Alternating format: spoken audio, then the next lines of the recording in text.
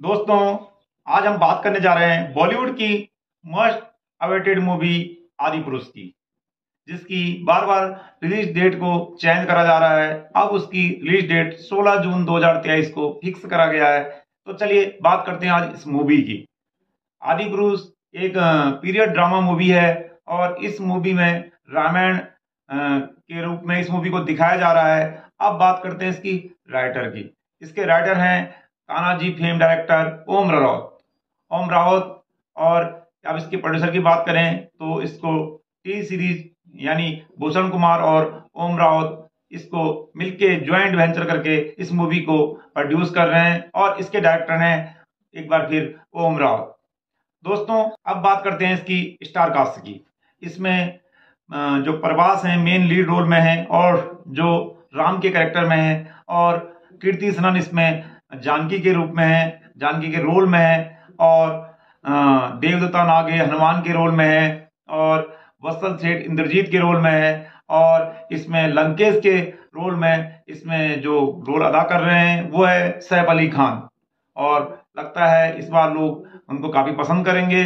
और दोस्तों, इस तरह से स्टार कास्ट एक बहुत ही लंबी स्टार कास्ट है, और अगर आप इस मूवी की बात करें तो क्योंकि एक, ये रामायण पे बेस मूवी है तो हो सकता है ये मूवी प्रवास की, जैसे बाहुबली वन बाहुबली टू के रूप में लोग इस मूवी को देख रहे हैं और प्रवास से काफ़ी उम्मीद कर रहे हैं, क्योंकि प्रवास एक बेहतरीन अधिकार अभिनेता होने के साथ साथ बहुत ही टैलेंटेड एक्टर हैं और इन्होंने जो जिस मूवी में काम करते हैं वो मूवी एक तरह से सुपर डुपर हिट हो जाती है और अपने कैरेक्टर में जान डाल देते हैं और देखते हैं दो, दोस्तों राम के कैरेक्टर में लोग इनको कैसा पसंद करते हैं और जानकी के कैरेक्टर में देखते हैं कीर्ति सनम को कैसे लोग पसंद करते हैं।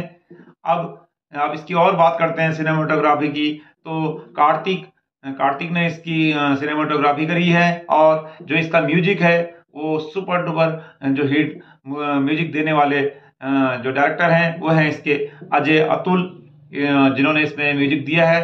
और अब हम इसकी अगर लैंग्वेज की बात करें तो हिंदी और तमिल दोनों भाषाओं में ये मूवी थिएटर में हमें देखने को मिलेगी। अब इसकी बी की बात करते हैं तो दोस्तों, जब इसका पहले टीजर जब आया था तो लोगों ने काफ़ी इसकी क्रिटिसाइज करा इसके बी की और इस बार इन्होंने फिर, जो इसके प्रोड्यूसर डायरेक्टर हैं, ओम रावत, उन्होंने फिर इसमें चेंज करा और इसका बी इस बार लगता है थोड़ा अच्छा करा इन्होंने और इस तरह से जो इसकी अभी कॉन्ट्रोवर्सल इसमें हो गया था इसके बी में तो अब काफ़ी चेंज इसमें करा जा रहा है और काफ़ी खर्चा फिर दोबारा इसमें खर्चा किया गया है। और जिससे कि दर्शक इस मूवी को अपना मतलब एक तरह से समर्थन दे पाए।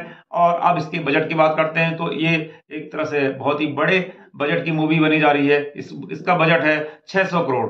और जिस तरह से इसका बजट है तो लगता है इसमें काफ़ी काम किया गया है। तो देखते हैं लोगों को ये मूवी किस तरह से पसंद आती है। तो चलिए, इंतज़ार रहेगा सबको। तो दोस्तों, इसी तरह से बॉलीवुड से जुड़े हुए रोचक वीडियो देखने के लिए हमारे चैनल को सब्सक्राइब करें कमेंट करें और लाइक करना